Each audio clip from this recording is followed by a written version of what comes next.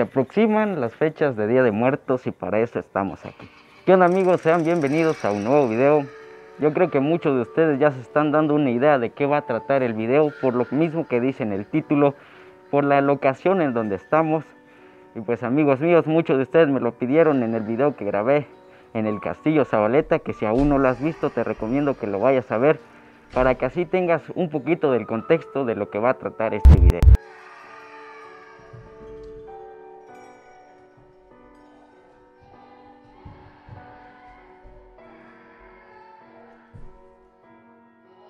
El día de hoy nos encontramos en el Panteón de San Cristóbal de las Casas.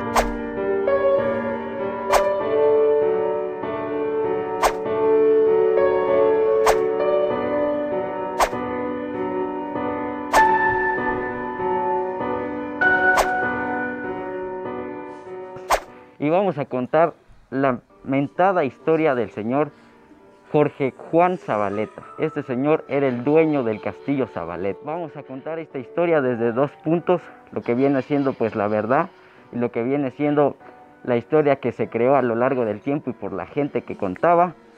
Así que amigos míos, prepárense porque vamos a comenzar con esta bonita historia. Nos remontamos al año del 1980, donde se decía que un vampiro había reencarnado en un señor y ese señor era el señor Jorge Juan Zabaleta.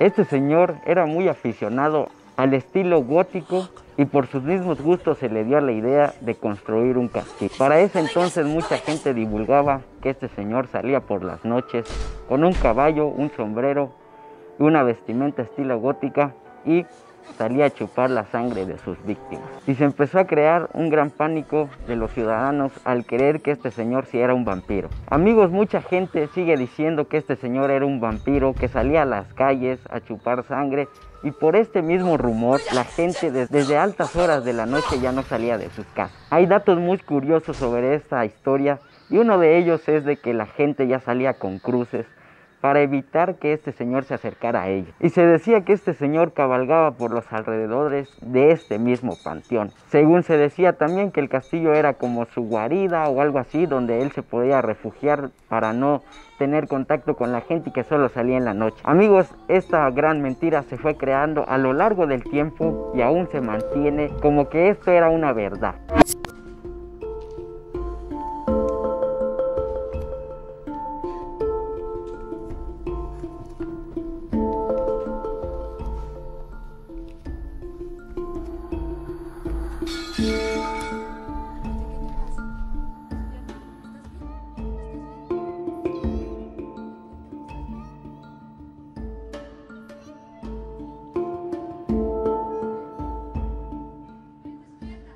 Ya que les conté un poquito del contexto de una mentira, les voy a contar la realidad de esta historia. Este señor, como se los dije en la historia ficticia, tenía muchos gustos a lo gótico.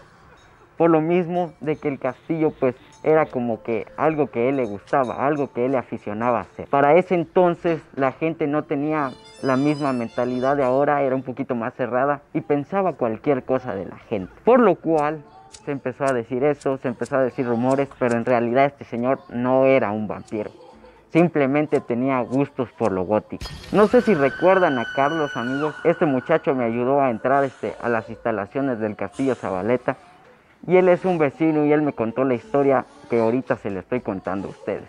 Él sí me aseguró que en este castillo se había fallecido una persona, pero pues no era relacionada a lo que ellos decían, que el señor Zabaleta pues le había chupado la sangre y infinidad de mitos. El castillo se fue creando una mala racha porque empezó siendo un hotel, después un restaurante y después un salón de fiestas y nada funcionó.